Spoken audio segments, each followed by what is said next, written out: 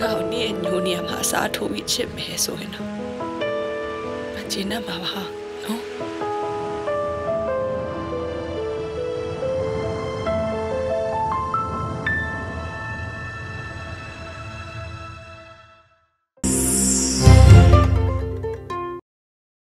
အန်ကတ်ဂျမ်စ်ရဲ့ဇညွန်ရည်သူဒရိုက်တာဖြစ်သူတွေဖြစ်တဲ့ Josh နဲ့ Benny Safdie တို့ဟာ ဖေဖော်ဝါရီလ10ရက်နေ့ကကယ်လီဖိုးနီးယားပြည်နယ်စန်တာမိုနီကာမှာကျင်းပခဲ့တဲ့ Fin Independent Spirit Award မှာစုသုံးစုရရှိခဲ့တဲ့ Adam Sandler ကိုချီးကျူးခဲ့ကြပါတယ်။ရုပ်ရှင်ဟာထိတ်တန်းစုတွေဖြစ်တဲ့ဒရိုက်တာတီးဖြတ်နဲ့ခေါင်းဆောင်မင်းသားစုဆိုပြီးသုံးစုရခဲ့တာဖြစ်တယ်လို့ဒီဇလန်မှာဆန်ဒလာရဲ့ဇက်ကောင်ကတော့ကန်ဆိုးမှုတွေနဲ့ရင်ဆိုင်ခဲ့ရတဲ့လောင်ကစားသမားတဦးလည်းဖြစ်ကြောက်မြေနာရောင်းချသူလည်းဖြစ်တဲ့သူဟာ ဘဝတသက်တာမှာအကြီးမားဆုံးလောင်ကစားကိုပြုလုပ်လိုက်ပါတယ်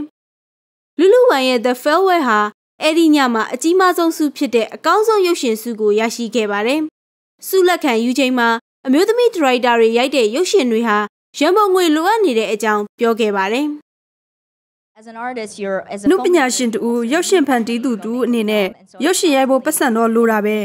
ကျမကောင်းထဲမှာအဆက်မပြတ်တိုက်ပွဲတွေဖြစ်နေပြီးအမျိုးသမီးတွေခံစား권ရဖို့အားပေးချင်တယ် ဘာလို့လဲဆိုတော့အမျိုးသားတွေကအချိန်ကြာမြင့်စွာခံစား권ရခဲ့ကြပြီးရှင်တို့တွေရဲ့ဇက်လန်းတွေလည်းလိုအပ်ပါတယ်